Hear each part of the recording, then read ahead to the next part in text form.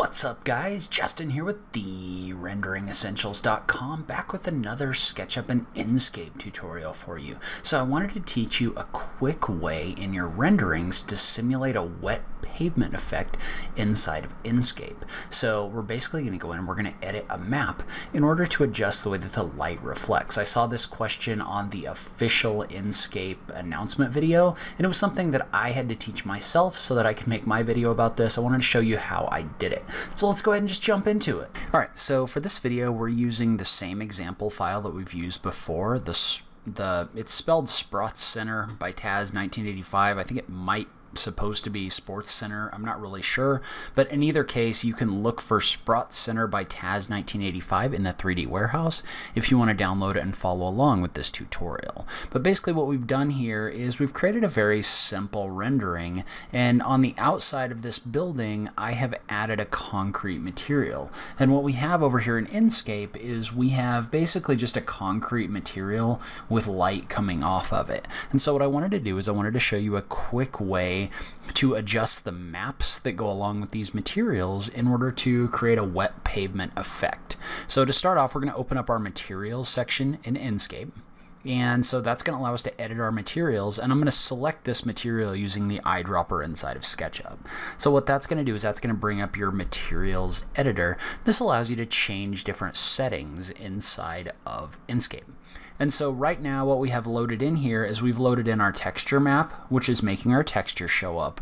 We've also loaded in a bump map, or in this case I've loaded a normal map. That's what gives this the bumpy look on the face over here inside of Enscape. So if you look at this, you can see how we've got our sun reflecting off of the pavement and you can kind of see the ups and downs of the material here well, what we want to do is we want to simulate light bouncing off of water puddles right after a rainstorm. So you know how like after something rains, um, things kind of evaporate and dry at different rates, and we want to kind of simulate that on this material so that this image gets a little bit more interesting.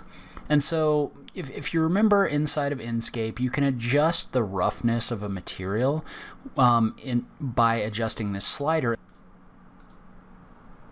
that's going to adjust how much the sun reflects off of a material. So you can see if I drag this to the right, the sun doesn't reflect very much at all. If I drag it to the left, it reflects a lot. But the problem with this is this is a very uniform, right? So it kind of looks like this has a layer of water all over it. The problem is after a rainstorm, water is rarely uniform. You need little puddles here and little puddles there. And so if you remember, you can use the albedo in order to set this. You can also load in a map. So for example, I download a lot of materials from websites like Poliigon, and I will link to Poliigon in the notes down below, but basically these materials come with different maps in here that do different things. So for example, you've got maps that contain your texture, like this one right here and this one right here. And then you've got maps that do displacement, which make your material look more 3D. And you've got things like normal maps, which make things look bumpy. So like out here, we've loaded our normal map in to make this look bumpy. Well, we want to focus on either the gloss map or the reflection map. It doesn't really seem to have mattered in this case. It seems like we can work with either one of them. And really what we're going to do is use this to apply a noise layer anyway. So it really doesn't matter which one we pick. And so what I want to do is I want to open up either the gloss map or the reflection map. In this case, I'm going to open the reflection map up inside of a, your image editor. So for me, this is going to be Photoshop. So Photoshop allows you to add the noise Эльза inside of this material really quickly. Um, I'm not 100% sure. I think you could probably do this with a free program like GIMP. You could also do a Google search for something like Perlin noise, and there should be images that you can use as well. Inside of Photoshop, what we want to do is we want to create a new layer on top of our background. And I don't want to get too deep into Photoshop. We're going to make this very, very simple. Um, but we don't want to add this on top of our background layer because we don't want to adjust that. We want to stack this on top of it on a new layer. So I've clicked the button down here for add new layer. And now what I'm going to do is I'm going to go up to filter and there's a button in here for render or there's a menu option here for render, there's an option in here for clouds. And so what clouds is going to do is that's going to add a new layer and it's going to create a cloud look inside of Photoshop.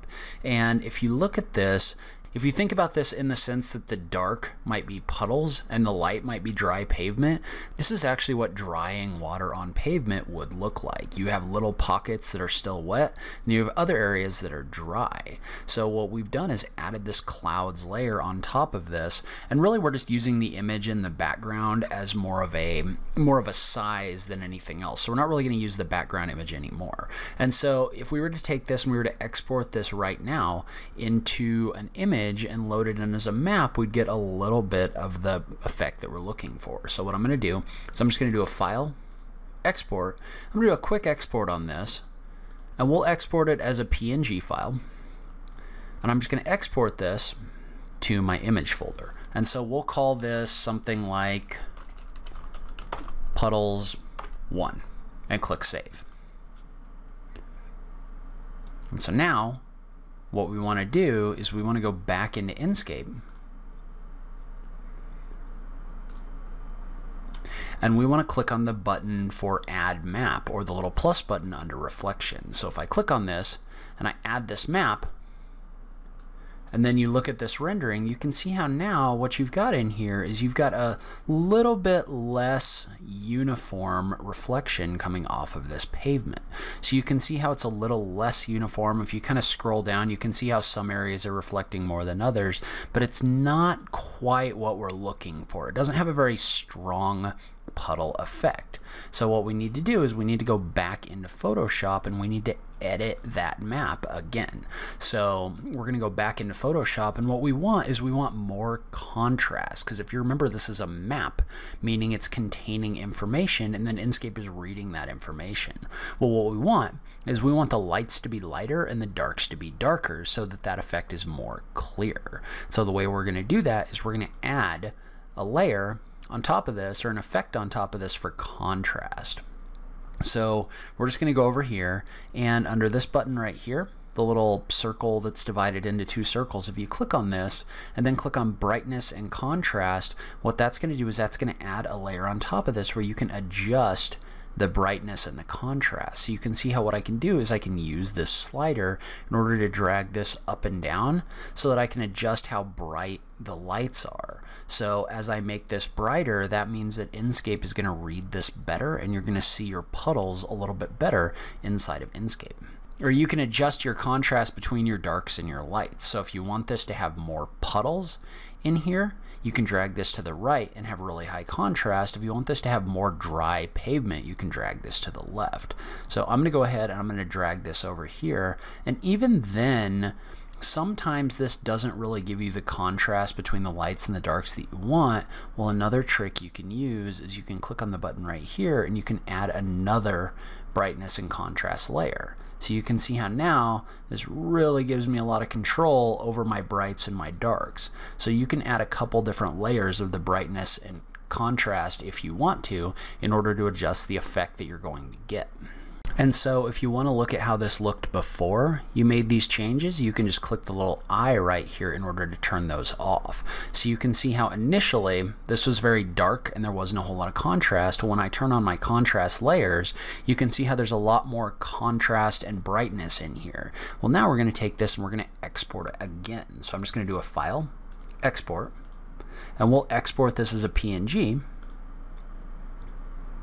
And then we're going to label this one Puddles 2. And so now, if we go back into SketchUp and we delete out this map and then click right here to add a new map, we're going to find our Puddles 2 that we just did. And we're just going to double click on that and we're going to load this map in to our reflections. And so now, if I look at this, you can see how it's much less uniform. So what you have in here is you have a piece of pavement that really looks like it's got some areas where water has puddled and it's also got some areas where the pavement has dried out. So it's a much more realistic look, but not only is it a much more realistic look, it's a much more interesting view than what we had before. So alternatively, if you just found a Perlin noise image, you could probably load that into the map in order to simulate this. But you can see now as I move my sun, I'm getting these really interesting reflections coming off of this pavement and it really looks like we just had a storm and some of these areas are dry and some of them aren't.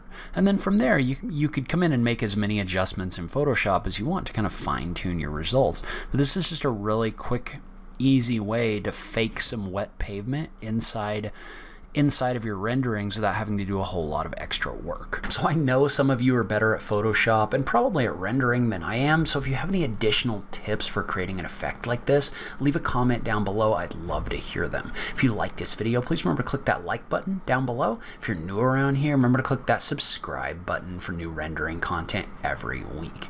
As always, thank you so much for taking the time to watch this. I really appreciate it, and I will catch you in the next video. Thanks, guys.